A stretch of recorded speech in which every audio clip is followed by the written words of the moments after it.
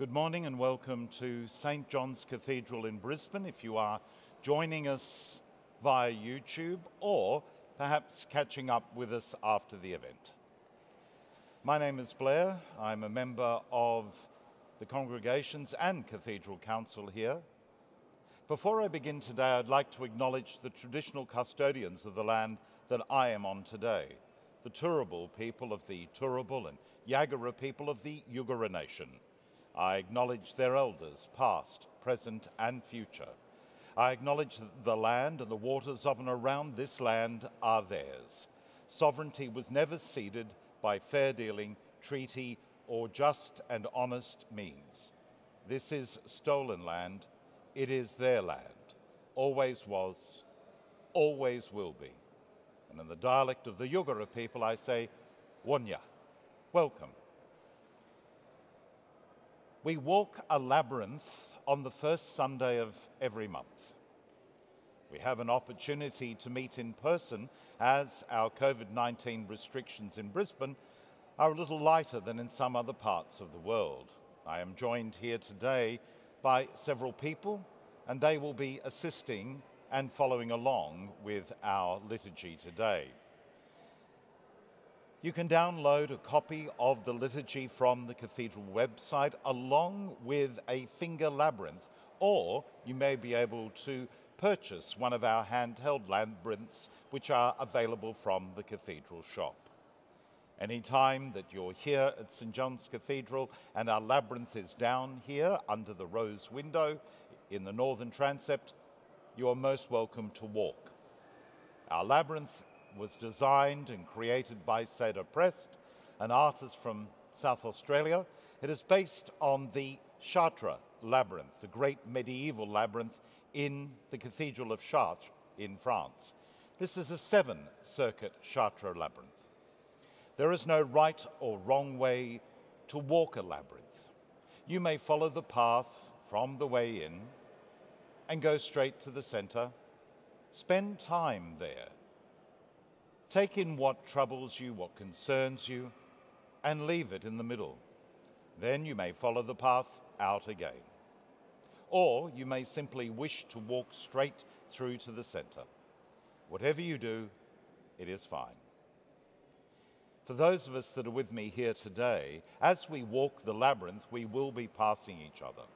Under current COVID 19 restrictions, we will be wearing masks as we walk. But when we walk a labyrinth with others, we do it as if we walk in daily life. We pass one another, we show respect to one another, we don't disturb one another. Take into the labyrinth what concerns you, leave it in the middle, and come out again with some knowledge and understanding, hopefully. Our labyrinth walk today, for this, the 7th of November, is based on a walk in the Spirit. We are between the seasons of All Hallowtide and Adventtide. It's a end of the year for the church year, a time of endings and beginnings, a time to embrace the Spirit. I ask you to follow along with us in the liturgy. Please say aloud the words in bold type, and if you wish to speak aloud, the verses that we are saying in circulation, rotation around, please do so. So let us commence our time together. The Spirit of the Lord is upon me, because the Lord has anointed me. God has sent me to bring good news to the oppressed, to bind up the brokenhearted, to proclaim liberty to the captives, and release to the prisoners we will say together our opening prayer from Psalm 51. Create in me a clean heart, O God, and renew a right spirit within me. Cast me not away from your presence, and take not your Holy Spirit from me. Give me the joy of your saving help again. Sustain me with your bountiful Spirit Open my lips, O God, and my mouth shall proclaim your praise. Our text that we will say around our circle is from the second chapter of Joel. I will ask each of our people that are with us today to say a sentence. When they come to a full stop, it will pass to the person to their left. Now I'll ask Yun to begin, please. Yet even now says the Lord, return to me with all your heart, with fasting, with weeping, and with mourning. Rend your hearts and not your clothing. Return to the Lord your God, for I am gracious, merciful, slow to anger, and abounding in steadfast love, and relents from punishing. Then afterwards I will pour out my spirit on all flesh. Your sons and your daughters shall prophesy. Your old men shall dream dreams, and your young men shall see visions. Even on the male and female slaves in those days, I will pour out my spirit. I will show portents in the heavens and on the earth, blood and fire and columns of smoke. The sun shall be turned to darkness, and the moon to blood, before the great and terrible day of the Lord comes. And everyone who calls on the name of the Lord shall be saved. To commence our time together, we will say from Hildegard of Bingen, a great mystic of the 12th century, who wrote extensively on visions from God and particularly the Holy Spirit, which she saw as a great fiery life force. We have here five stanzas from one of her poems, and we will go again around to our left, commencing with the next person after Yun, who will commence, and each of our people will say one of the stanzas.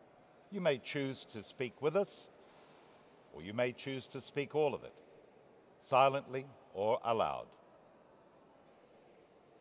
Holy Spirit, comforting fire, life of all creation, anointing the sick, cleansing the body and soul, fill this body, Holy Spirit, sacred breath, fire of love, sweetest taste, beautiful aroma, fill this heart. Holy Spirit, filling the world from the heights to the deep, raining from clouds, filling rivers and sea, fill this mind. Holy Spirit, forgiving and giving, uniting strangers, reconciling enemies, seeking the lost and folding us together. Fill these gathered here. Spirit, bringing light into dark places, igniting places, place, greatest gift, our hope and encourager, Holy Spirit of Christ, I praise you. And now we will commence our walk together. During this time, you will hear a piece of music. This is written by John Cage, played by Sarah Rothenberg on piano. This called In a Landscape. After we have walked the labyrinth, we will close our liturgy together.